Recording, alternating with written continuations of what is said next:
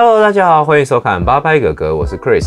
今天我们要跟大家讲的是二零二二年 MIDI 键盘推荐大总会。在许多的编曲设备里面，MIDI 键盘的重要性大概仅次于 DAW 还有监听设备。相信在很多的音乐工作者的工作室，你们都会看到它的足迹。那究竟它是什么？你又要如何挑选呢？让我们一起来了解一下吧。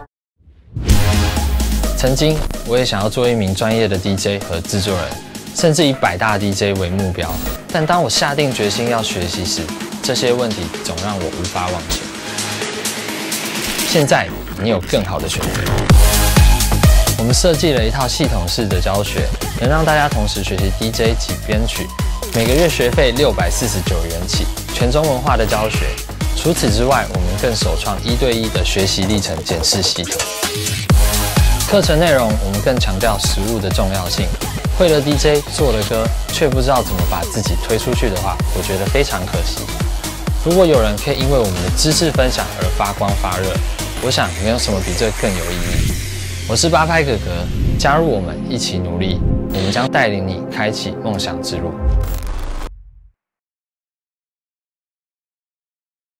MIDI 键盘就如同它的名字一般，它是发送 MIDI 讯号给电脑的一个控制器。只是呢，它的外表通常是很像钢琴键盘，那我们可以弹奏，它就可以帮助我们去演奏啊，还有编辑等等。而且呢，它也可以让我们编曲上更加的快速。所以呢，你认识 MIDI 键盘第一个很重要的事情就是。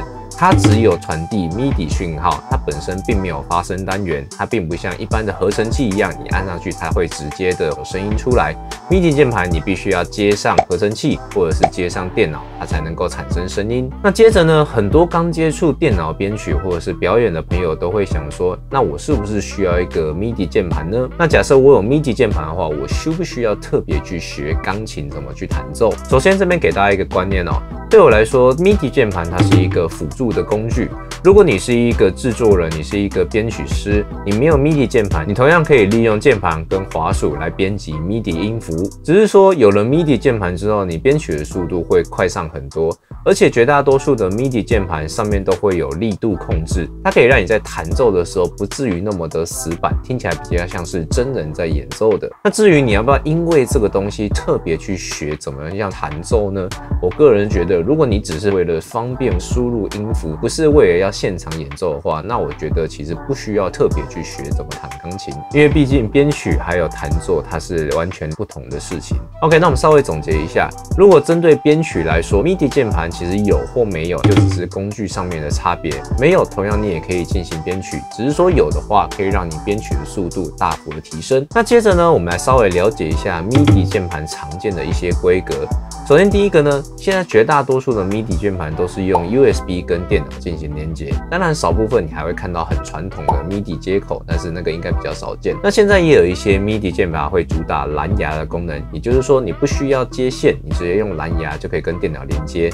只是说，通常我们不建议用蓝牙连接，因为蓝牙多多少少都还会有延迟。我们不会希望在编曲或者在表演的时候，我们弹下去还会有那么一点点的延迟，那个东西都会影响到我们工作的效率或者是表演上面的品质。接着呢，MIDI 键盘会根据它的键数会有不同的大小，常见的话会有二五啊、三七啊、四九啊、六一、八八等等这些键数。那这些键数呢，其实对应到钢琴上就是多少个八度，比如说哆到哆，这样子是一个八度。那它可能是两个、三个、四个，或者是说像完整的钢琴八十八键。那这个键数呢，也完全是根据你平常工作的习惯，还有平常你会用到的键数来进行调整。通常我会建议，如果你本身会弹钢琴，你通常会用两手去弹奏的话，那你再选择四十九键以上。那反之，如果你只是挑挑乐器、弹弹单音的话，四十九键以下应该就是非常够用的。那接着，MIDI 键盘除了琴键上面的功能之外，通常还会有一些附加的功能，例如说像打击垫，或者是说像 fader 等等。那这个东西它不是 MIDI 键盘最主要的功能，这些东西也是根据大家的习惯。举个例子，假设你本身很喜欢用打击垫来弹奏节奏组的东西的话，那选有打击垫的 MIDI 键盘对你来说就会是加分的效果。只是说对我而言，这些东西都是属于附加它的价值。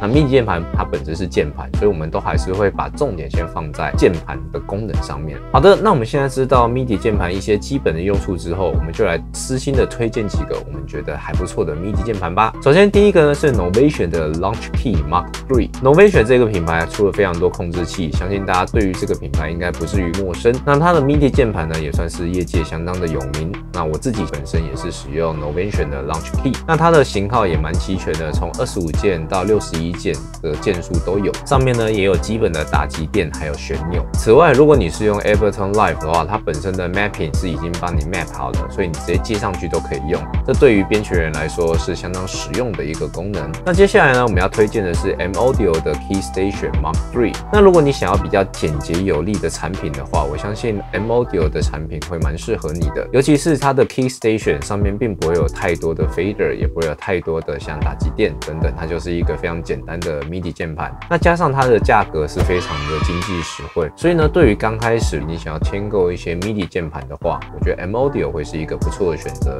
像我刚开始接触编曲的时候，我也是先选择 M Audio 的产品。那这样的好处呢，你就可以先回归到 MIDI 键盘它最基本的功能，你不需要去烦恼它额外那些功能，你以后会不会用到？那也因为它的价格比较低廉，所以对于初学者来说是比较好入门，也比较好上手的。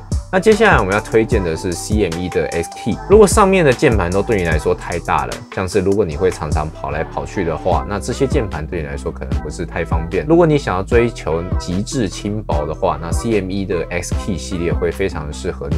为什么呢？举例来说，以它的二十五键为例，它的厚度是不到两公分，长度也不到三十九公分。那我自己的实测，它是可以直接放到我们平常背的后背包里面。所以呢，如果你是一个在现场表演，或者是说你会需要跑来跑去的编曲者，那这个东西就很好用。而且呢，它不会因为它很小台，所以该有的东西就没有。它里面虽然很小，但它还是有力度控制的。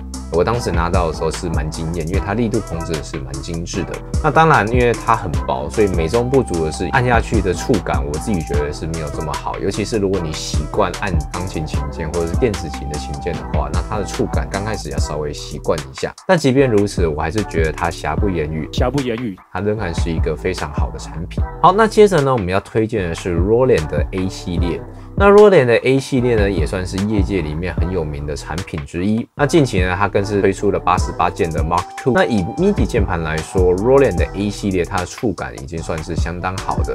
尤其如果你是追求钢琴触感那种全配重的话，Roland 的 A 八十八它会是相当适合你的。只是说最近的更新它是针对八十八键的。如果你最近想要购买非八十八键的话，它的产品已经有一点点久了。那大家稍微评估一下，它是不是符合你的需求。接着呢，我要推荐的是 Native Instrument 的 Complete 系列。NI 除了他们的软体之外，他们的某些硬体其实是很多人也是很喜欢的。像我自己也是 NI 的忠实用户之一。虽然说我很喜欢 NI 啊，但拜托你们 bug 赶快改一改好不好？用的不爽。好，言归正传，像是他们的 Complete 键盘是相当多编曲者都会使用的 MIDI 控制器，而也因为他们自己本身出了硬体，所以跟他们软体也都会直接的相对应。像是他们出的 Contact 里面的音源库，基本上都可以直接跟 Complete 去做对应。所以呢，如果你本身是 NI 的软体爱好者的话，那你在挑选 MIDI 键盘的时候，自然而然可以考虑一下他们家的产品。好，那最后一个呢，我们要推荐的品牌是 MIDI Plus。如果呢你的预算真的有限，像是 M Audio 对你来说说都还是预算有点高的话，那我们这边会推荐一个台湾的自主品牌，叫做 MIDI Plus。以他们产品线来说，不用三千块就有一个四十九键的 MIDI 键盘，算是 CP 值非常高的选择。当然，如果你想要有其他的功能，像是打击垫啊，或者是推杆啊等等，他们也有相对应的产品。那同样的，他们的价格也都会跟其他的品牌低上许多。那大家都可以参考看看。好，那我们上面介绍的六款的 MIDI 键盘，只是我们自己的私心推荐，因为其实这个世界上还有非常非常多不一样的 MIDI 键盘，那每一个功能呢也都有一点点不一样，我们也只能私心的挑几个推荐给大家。那以上的内容我们都完全没有叶片，那是我们根据自己的经验，还有我们查了不少的网络资料，我们得知了几个比较适合初学者，或者是说你刚开始要选购的时候比较好的选择。那我们也相信每一个人适合的东西不一样，而且呢这些东西也是一分钱一分货，所以大家还是要针对你的预算还有你的需求去做选择。那我们这边有几个方向可以供大家参考，像是你可以先列出预算列表，接着呢根据你的需求呢一个一个去挑选。举个例子，你希望你的价格控制在一万块以内，而且呢你希望长度可以在五十公分以内。并且呢，希望有打击垫，可以有这些东西下去筛选出适合你的键盘。最重要的是，你一定要去试用，因为呢，每一个键盘它的触感，还有它打击垫，甚至推感等等，这些是没有办法直接在网络上描述出来的。如果可以的话，在挑选之前，尽量还是到实体店家去试用看看，这样子才最有几率去挑到比较适合你的迷你键盘哦。那这边我们也不建议你就直上什么什么，一来是很有可能那些功能你都用不到，那这个东西其实也会造成浪费二来是因为它很占空间，那我自己觉得空间也是一个蛮大的考量。因为如果你的工作室本身很小，可是如果你摆一个八十八件，那你本身也不会用到的话，那我会觉得它也是资源的浪费。所以这边我也不推荐什么东西都只上什么，还是要根据你的需求还有预算去做调整哦。OK，那我们今天的介绍就在这边，希望大家对于我们二零二二年 MIDI 键盘大推荐能够有个初步的认识。如果你有什么推荐的品牌或者型号，也欢迎在底下留言告诉我们。如果你有什么问题或是影片上的建议，下一支影片你希望看到我们介绍什么，也欢迎在底下留言告诉诉我们哦。那我们下次影片见，拜拜。